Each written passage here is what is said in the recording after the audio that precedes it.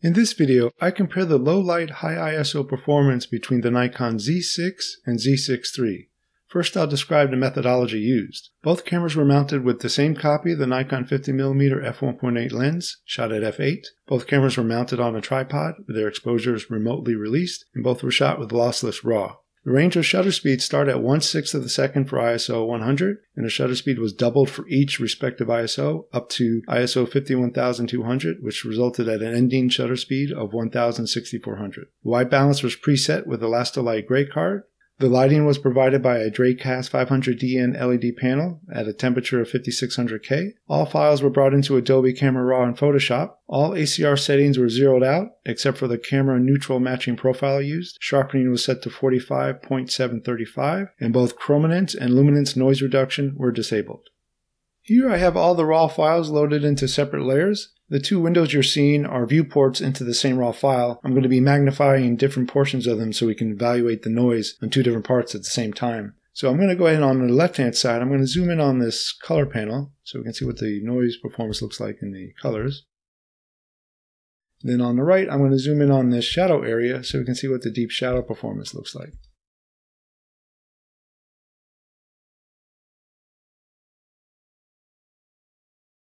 Right? The first file of each comparison is always going to be the Z6 III, and then I'm going to show the Z6. So here's the Z6 III, and there's the Z6.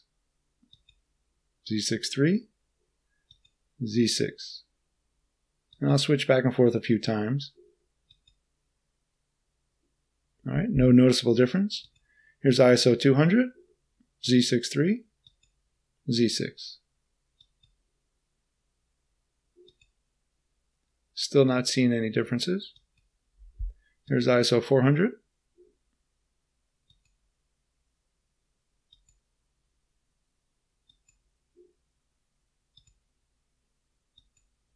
All right, still no differences.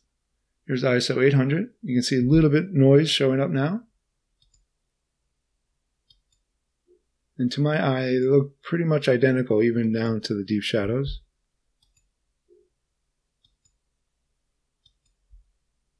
Here's ISO 1600, more noise still.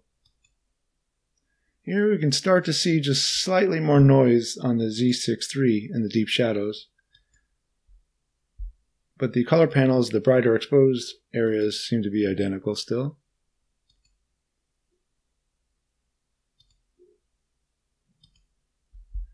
Here's ISO 3200. Again, there's slight differences, but hardly noticeable between these two. Z6 III exhibiting slightly more noise than the Z6, in the deep shadows at least. Here's ISO 6400. Here the noise differences starting to become more noticeable.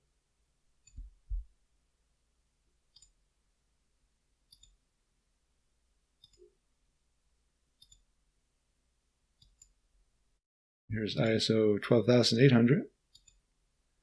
Now here's the first ISO where the noise difference is definitely noticeable without even having to look carefully. Particularly in the deep shadows here you can see there's a noticeably more noise on the Z6 III image. On the color patches which are uh, receiving more light, uh, the noise difference is still barely noticeable. I'd call it pretty much a wash between the two. All right, now let's step to ISO 25600. Here the deep shadows are starting to get very noisy. That's the Z6 III, and there's the Z6. And again, uh, significant difference now in noise in the deep shadows between the two cameras.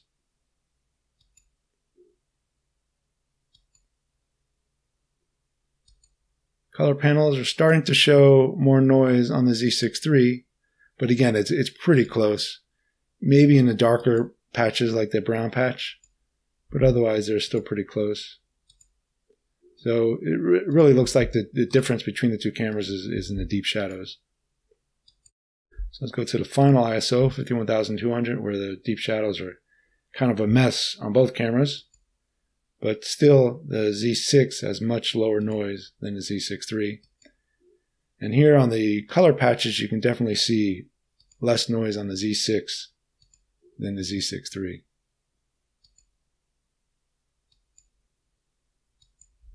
So if I uh, zoom around to different parts of the image, so let's, I have a, a chart set up here so we can see if there's any difference in detail. This would indicate, for instance, any raw based noise reduction. If there were, then some of the details should be smudged on one of the one of the images versus the other. But if you can see here, the detail looks pretty much identical. Net of the noise differences. So this is the Z6 III, Z6, And uh, there's not much else really to see within the image. There's a couple more color patches here.